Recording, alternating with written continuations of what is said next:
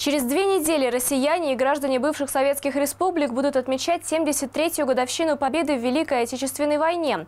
Уже сейчас в учебных заведениях идут мероприятия, посвященные этому празднику. Так, в Люберецкой школе номер 9 прошел военно-патриотический фестиваль «Нам этот мир завещано беречь». На нем школьники показывали творческие номера, читали стихи представляли исследовательские работы. В Люберецкой школе номер 9 дети одеты во фронтовую форму. Это часть их подготовки к уже ставшему традиции военно-патриотическому фестивалю под названием «Нам этот мир завещано беречь», который проходит в преддверии Дня Великой Победы.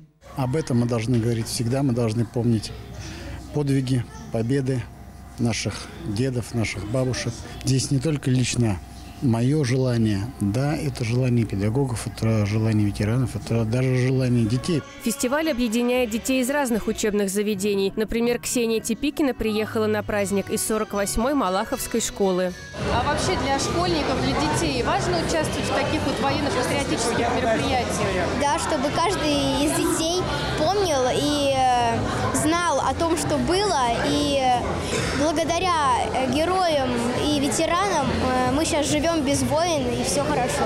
Почетные гости праздника – ветераны Великой Отечественной войны. Мария Воробьева приехала рассказать ребятам об опасностях военного времени. Пусть помнит, помнит, как говорится, пока живы, пусть все помнит, запоминают. Это очень-очень опасно было. В программе фестиваля творческие выступления, где ребята поют песни о войне, лектории по исследовательским работам, которые школьники готовили на основе известных исторических данных, а также чтение стихов. Старушка в цветастом платье у иконы свечу зажгла.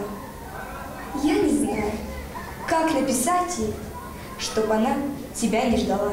Мы приглашаем всегда на это мероприятие ветеранов, а, ребята соседних школ, творческие коллективы, а, чтобы они воочию, скажем так, а, прониклись действительно тем временем, той действительно настоящей победой, и когда они находятся в сюжете, скажем так, да, они действительно это проживают все сердцем. По официальным данным, в Великой Отечественной войне погибли более 26,5 миллионов советских граждан. 9 мая россияне будут отмечать 73-ю годовщину Победы. Готовятся массовые мероприятия. Александр Томей, Петр Пономаренко, телеканал ЛРТ.